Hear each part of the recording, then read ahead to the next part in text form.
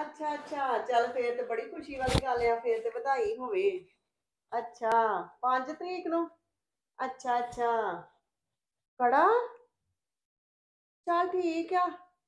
ਮੈਂ ਨਾ ਤੇਰੇ ਵੀਰ ਆਉਂਦਾ ਨਾ, ਤੇ ਉਹਦੇ ਨਾਲ ਗੱਲ ਕਰਦੀ ਆ ਫਿਰ। ਹਾਂ, ਫੇਰ ਹੀ ਤੈਨੂੰ ਦੱਸਾਂਗੇ। ਚੰਗਾ ਫਿਰ, ਠੀਕ ਆ। ਭੈਣੇ, ਕੀ ਗੱਲ ਤੈਨੂੰ ਦੱਸਾਂ? ਮੇਰੀ ਨਨਾਣ ਦਾ ਫੋਨ ਹੀ, ਉਹਨੇ ਤੇ ਆਪਣੇ ਮੁੰਡੇ ਦਾ ਵਿਆਹ ਦੇਤਾ। ਤੇ ਅੱਗੋਂ ਮੈਨੂੰ ਪਤਾ ਕੀ ਆਂਦੀ? ਕਹਿੰਦੀ ਤੁਸੀਂ ਤੇ ਮਾਮੀ ਹੋ ਕੜਾ ਮੇਰੇ ਮੁੰਡੇ ਵਾਸਤੇ ਲੈ ਕੇ ਤੇ ਆਓ। ਹਾਏ ਹਾਏ ਇਹੋ ਸਿਆਪਾ ਹੁੰਦਾ ਹੀ ਨਾ ਨਾਨਾ ਦਾ। ਹੋਰ ਕੀ ਮੈਨੂੰ। ਤਾਂ ਇੰਨੀ ਟੈਨਸ਼ਨ ਪੈ ਗਈ ਆ ਨਾ ਕਿਤੇ ਕੋਈ ਹਿਸਾਬ ਨਹੀਂ ਕਿ ਅਸੀਂ ਕੜਾ ਕਿੱਥੋਂ ਪਾਉਣਾ ਕਿੰਨੀ ਮਹਿੰਗਾਈ ਆ। ਆਹੋ ਇਹ ਤੇ ਹੈ। ਮੈਂ ਤਾਂ ਸ਼ੁਕਰ ਕਰਨੀ ਆ ਵਾਹਿਗੁਰੂ ਦਾ ਕਿਤੇ ਮੇਰੇ ਨਨਾਣ ਨਹੀਂ ਹੈਗੀ ਨਹੀਂ ਤੇ ਮੈਂ ਤੇ ਰੁੱਲ ਜਾਣਾ ਸੀ ਇਹਨਾਂ ਚੱਕਰਾਂ 'ਚ ਹੀ। ਸਹੀ ਗੱਲ ਆ ਤੂੰ ਤੇ ਵਧੀਆ ਆ ਫਿਰ। ਹੋਰ ਕੀ? ਤੇਰੀ ਨਨਾਣ ਹੈ ਨਹੀਂ ਨਾ ਚੰਗੀ ਗੱਲ ਆ। ਨਹੀਂ ਤੇ ਤੈਨੂੰ ਪਤਾ ਕਦੀ ਕਹਿ ਦਿੰਦੇ ਆ, ਅੱਜ ਆ ਲੈ ਆਈ ਕੱਲ ਉਹ ਲੈ ਆਈ। ਆ ਮੂੰਹ ਹੀ ਬੜਾ ਬੜਾ ਵੱਡਾ ਅੱਡਦੀਆਂ ਨੇ ਤੇ। ਹੋਰ ਕੀ?